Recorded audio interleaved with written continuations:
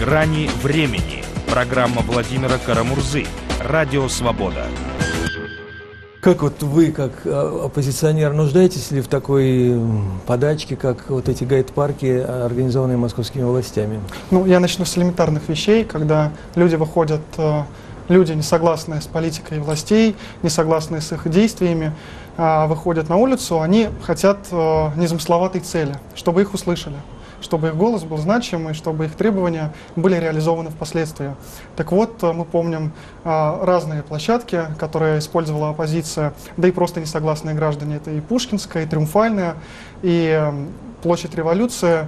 И последовательно все эти места, они стали, э, ну, так уж получилось, что их ликвидировали как площадку для выражения своего граждан, своей гражданской позиции. Поэтому я думаю, что вот эта подачка, которую сейчас кидают московские власти, она а, для нас, как для людей, которые хотят выражать свою гражданскую позицию, неэффективна, поскольку мы считаем, что загоняя оппозицию на определенную территорию и не давая ей выражать а, свои мысли там, где ей положено по Конституции, а есть пресловутая 31 статья Конституции, которая как раз предполагает а, нам высказываться мирно, без оружия, где мы хотим, а, то, собственно говоря, когда власть идет на попрание этих наших а, фундаментальных прав, я считаю, что это как раз то нарушение, на которое надо сейчас акцентировать внимание и всячески не поддаваться на эту подачку, на эту меру. И я считаю, что было бы хорошей мерой и акцией нашего гражданского неповиновения не подавать заявки на эти территории и продолжать э, активно пытаться согласовывать, если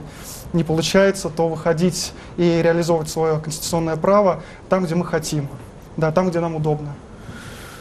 Да, вот если, например, брать про образ гайд-парка, это в Великобритании, но там же, когда какие-то массовые акции, и какие-то маргиналы собираются, то все выходят на главные улицы, на Пикадилли. Собственно говоря, наши оппоненты, площадь, да. наши оппоненты в дискуссиях э, фактически поют дифирамбы гулом, э, примеру Англии, Лондону, да, где есть и гайд-парк, и а, еще в нескольких районах Лондона проводятся такие мероприятия. Англичане их называют, по-моему, уголок оратора.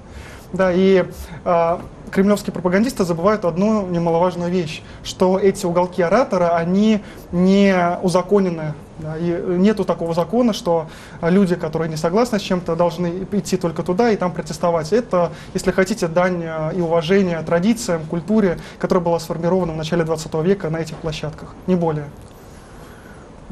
А рассматриваете ли вы вот это появление гайд-парков в ряду других э, таких суррогатных мер, которые даровала власть оппозиции, как и, например, регистрации партии с 500 начиная человек и так далее. Вот эти законы, которые еще принимал президент Медведев.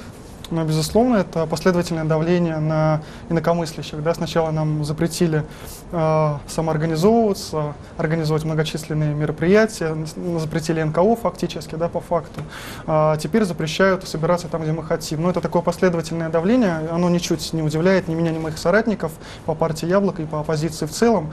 И, конечно, мы считаем, что это э, как раз является тем самым давлением, и надо ему как-то противостоять. Но дело в том, что э, я думаю, что та цель власти, которую они хотели реализовать еще там два года назад, ну, полтора года назад, собирались ночью в Кремле, обсуждали, как э, повлиять на э, оппозицию таким образом, чтобы они перестали собираться, она в какой-то степени, в значительной степени реализована сейчас, и мы видим, что наши силы, они э, ну, в значительной степени подавлена, оппозиция разобщена, деморализована, но тем не менее, продолжая принимать такие законы, э, мы видим, что власть по-прежнему нас боится.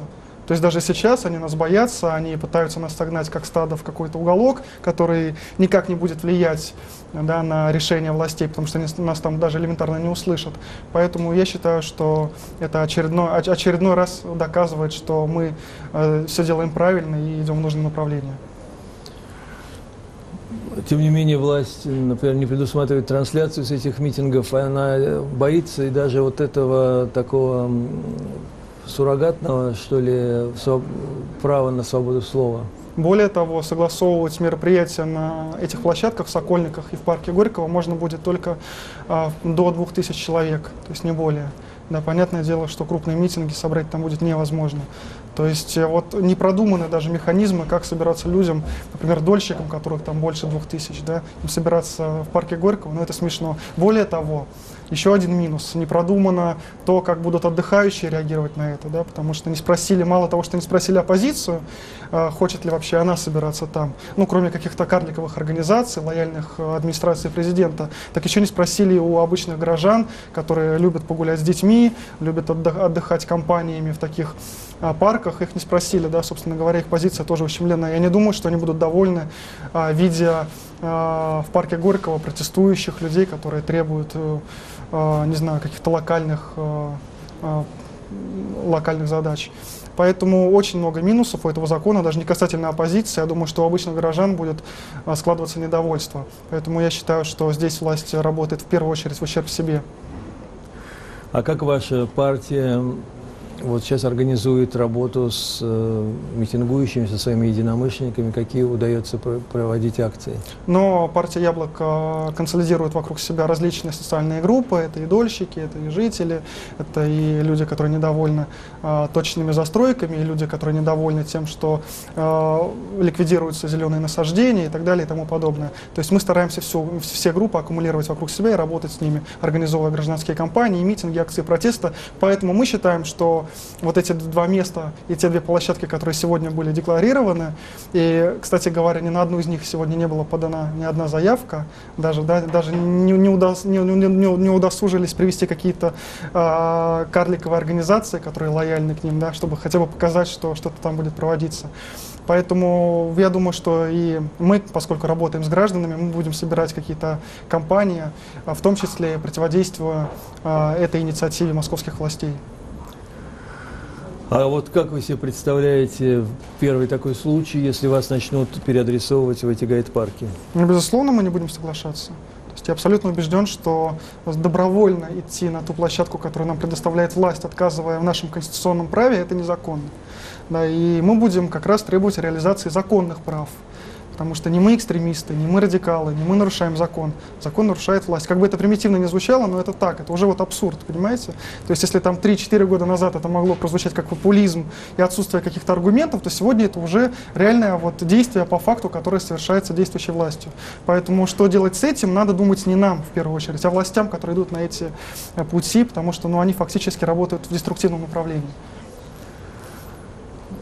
Но Московская власть считает это на полном серьезе э, какой-то мерой такой демократизации общественной жизни. Там предусмотрена защита общественного порядка, присутствие сил правопорядка. Угу. Вот почему вы думаете, что они как бы делают видимость э, вот э, реализации такой конституционной свободы, как свобода собрания. Вот все, что вы сейчас перечислили, и охрана правопорядка, и скорая помощь, это все должно как раз присутствовать там, где люди не согласны, хотят провести свое мероприятие. Это было обеспечено и на Пушкинской площади, и на Триумфальной всегда это было обеспечено. И более того, на Триумфальной нас всегда охраняло даже больше, большее количество э, людей, чем протестовало да, на улице. Поэтому власть обязана идти на эти уступки, если мы э, хотим реализовать свое конституционное право, они должны нам в этом помочь. Э, ну, помните, да, еще там 2-3 года назад, когда оппозиция или просто граждане были недовольны э, теми решениями и законами, оголтелыми порой, которые принимали депутаты Государственной Думы, мы приходили в Государственной Думе и протестовали там. Когда мы были недовольны решениями, которые принимались в Совете Федерации, мы приходили к Совету Федерации и протестовали.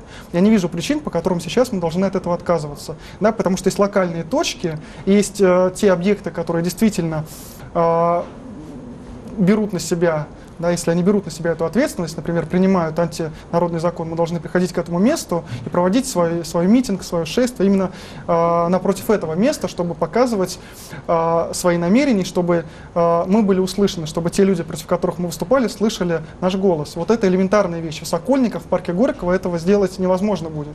Да, во-первых, это территория совершенно иная, во-вторых, там нету, э, даже по соседству нету каких-то э, символических мест, которым можно было бы э, адресовывать наши послания, поэтому ну, это абсолютно такая деструктивная игра в себя. Э, я не знаю, но опять вот, если люди будут недовольны, недовольны там, выборами, да, куда им идти в парк Горького, ну это смешно. Да, 10 тысяч людей, э, злых людей, э, агрессивных людей, которые, которых обманули только что, они не пойдут в парк Горького добровольно да, они придут к СЫКу, они придут к Государственной Думе и будут выражать свою гражданскую позицию именно в этих местах. Поэтому я не представляю, что в, вот, в этот момент будет делать власть. Разгонять нас, ну, пожалуйста. Да, разгонять безоружных граждан, но это традиционная форма общения ОМОНа с э, народом, с гражданами.